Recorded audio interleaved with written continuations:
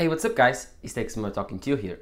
And as I promised in my last video, today I'm going to talk about my M1 Max MacBook Pro 16 inch and the need for you to have a studio display for this computer. Yes, should you buy the studio display to accompany your M1 Max 16 inch MacBook Pro or should you simply settle for a combo like the iPad Pro or simply the 16 inch display on this computer, which privately it's the best display I've ever used on a computer and far better than the studio display. So, what should you do? Should you buy a studio display for 15 $1600 and like use the hell out of that 27 inch panel and forget about the 16 inch that is your MacBook Pro unless you are outside being portable or at home while at work should you simply use the 16 inch display and settle for a smaller size display and what offers this display is just insanely good mini LED promotion display. So what compromises should you take? Promotion 120 Hz mini LED or size? In this video I will explain you all the differences between the studio display and the MacBook Pro's display also all the quirks and features that come with the studio display that is not just a display but almost a computer in itself. And so yes in this video it's going to be jam-packed with information and I hope you're excited. Because if you are don't forget to drop a like down below and subscribe to my channel I would really really appreciate it if you do but no further ado let's just get started As you know, the M1 Max MacBook Pro 16 inch, this one right here, has a 16 inch display. Yes, a 16 inch display seems big. If you look at the side of these two iPads and the, the MacBook Pro, you can see that that's one at 12.9 inch display, that's a 16 inch display. Mean, they don't look that different, while the 27 inch studio display is much, much bigger. Actually, it's very, very big. It's a 16 by 9 display while the MacBook Pro's display is a 16 by 10. So you have to take that into consideration when watching content. You will have black bars here, the content that is 16 by 9, and on the studio display it will be perfectly fitted. Although 16 by 9 is way more common than 16 by 10, I do love the 16 by 10 aspect ratio just because it gives me a little bit more information on the top of the menu bar just without wasting any screen time. And for example, when you are using some apps on the studio display or even the iMac's display, the older iMac's display, you have to use your menu bar and it would cut in in your content just because your content is 16 by 9 and your display 16 by 9. So you don't have that extra space up top that you can drop your menu bar. While this MacBook Pro has that space and so get rid of the notch. If you go, if you see the line, it goes to the notch and then after that, it's just content. It's always like that. On the top, you have the menu bar, which gets hidden when you are watching movies or videos if you put it on full screen. But if you want to access something, it doesn't cut in on all of your content, which is pretty, pretty damn cool. Also, when you are working on Final Cut Pro, Logic Pro, and you put it on full screen, you simply get that menu bar upstairs again, which is way more useful to access menus and stuff. So, yes, in terms of watching content and streaming media, maybe the 16 by 9 is better, but for everything else, I do believe the 16 by 10 aspect ratio of the MacBook Pro is the best. And so, yes, in terms of aspect ratio, I do think the MacBook Pro has the best aspect ratio. Of course, the studio display has a way bigger screen, so you can fit way much more content out there. You can fit a video, you can fit spreadsheets, way more stuff. And so that's one of the main points of this video. Do you need a bigger display than the 16 inch because you feel cramped on the 16 inch display? That's the one thing you ought to think. If you do, then I don't advise you get a bad monitor just because you won't be compelled to use it just because this display is just incredible, amazingly good promotion. Mini led just makes every other display look bad. And if you don't go for a very good display at least externally good looking then you will won't be able to com be compelled to use it. Like I had the Ultra, Ultra Sharp for $350 I think. I did a video on that explaining why I sent it back because I did not use it. it was a very amazing display. It had HDR it was very bright. The contrast was incredible. It was 4k but it wasn't that great when compared to this display it was good but it wasn't as good as this one and so I do advise you to get a very good display that can be on par at least that in resolution or quality of display not in I don't know, maybe refresh rate is impossible. But if you can get a 5K studio display, that would be perfect. Of course, if you can go for the Pro Display XDR, even better, because you would get mini LED technology in uh, grasps. So yes, it's very important for you to determine if you do need the extra space, then maybe going for external monitor on a MacBook Pro is useful. But for me, and in my opinion, I do think that if you have an iPad at home, you do need that extra studio display real estate, then get an iPad, connect Sidecar, and you are done. You have already a very cool and very 12.9 inch, 13 inch big display to work with on your MacBook Pro because that's an external display, works on, you can put a little bit of content there if you want to work with. So I think it works pretty well this way and it's way more cheap for me than just buying a studio display. The studio display is very expensive, starts at $1,600, but the quirks and features on it, I do believe are worth it for that type of money because you get an amazing center stage camera, which is only available on the iPad lineup right now, not on the MacBook Pro. You have the best speakers on a Mac ever. You have amazing, amazing design. You have tilt adjustability. If you pay for the extra three to four hundred dollars, you can get that uh, adjustability on the z-axis and on the x or y axis, or on the horizontal and vertical line. So you can adjust up upwards and downwards the height of your display and what's the rotation you want to adjust. So I do believe that Pro Stand like stand for the studio display, it's worth it. Yes, this is very, very interesting to know that this display does not adjust heightly because it's a laptop. You just have to put this stuff here, which is actually quite useful, makes your laptop higher, but you can adjust it like so.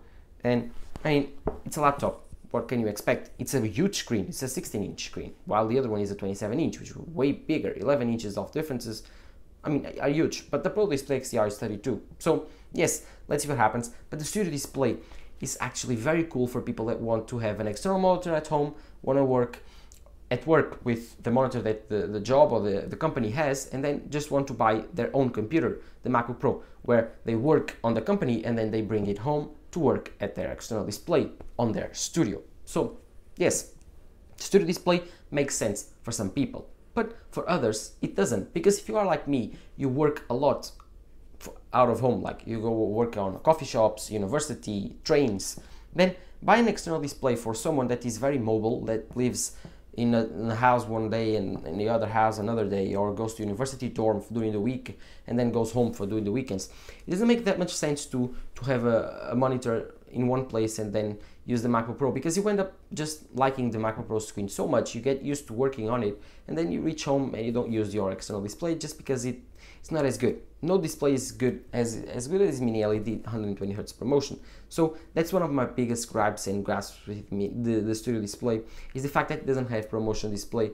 And the mini LED I can tolerate because I do like those extra blacks and inky blacks like the OLED technology and even the mini LED technology offers.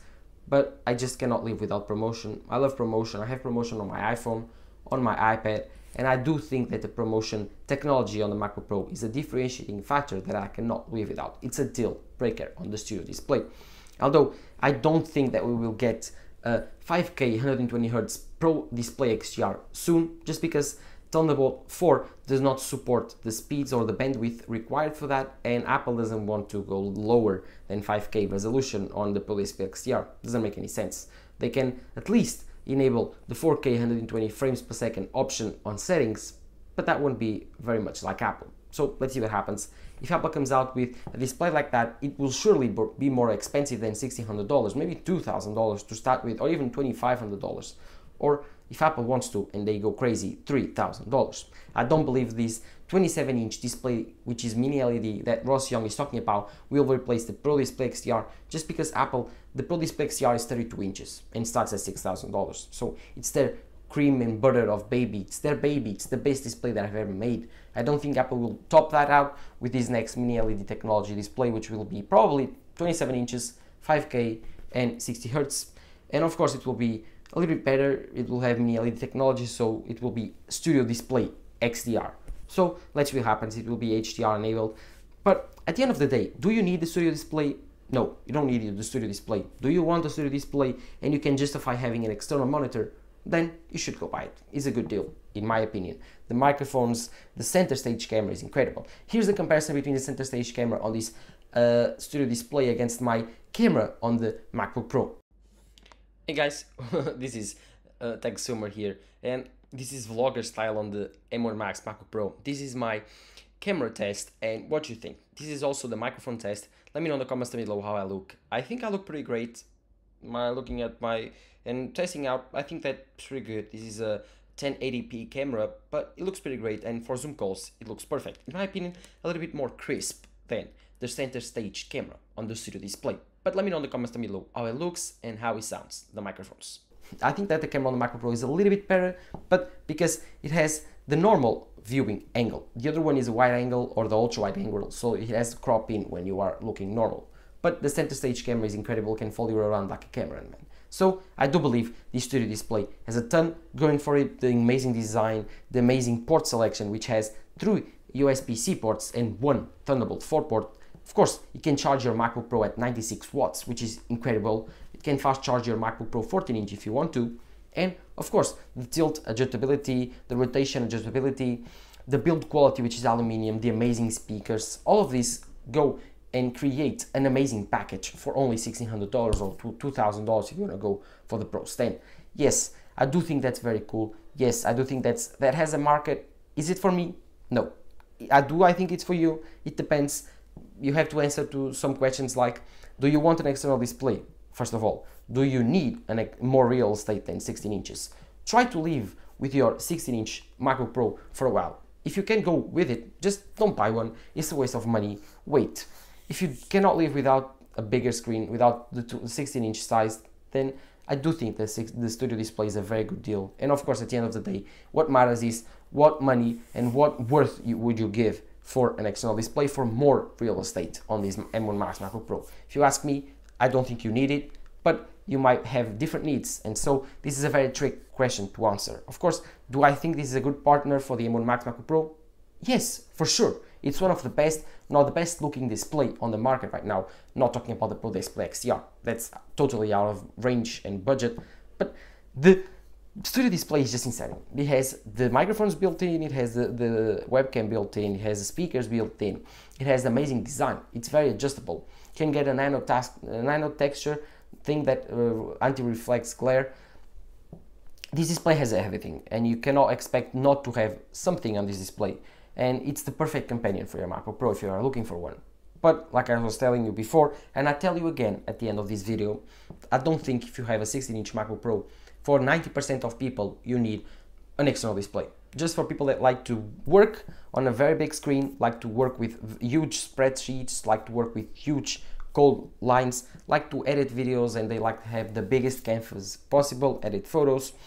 Those are the real professionals that probably need a studio display for the 16-inch MacBook Pro. But I can guarantee you, if you give it a try, or at least if you try it out for two weeks, three weeks, you will get used to the 16-inch display, which is, for me, in my opinion, big enough, and you won't probably settle with a bad refresh rate, which is a 60 Hertz, or a very bad build design, and of course resolution. So yes, try to work with this 16-inch MacBook Pro. In my opinion, that's the best screen ever on a computer. And so if you can do, I don't think the studio display is worth it. If you can't work with a 16 inch size display, then for sure go for it. The studio display is an amazing deal and I'm very grateful that Apple finally offers a very good display in this lineup.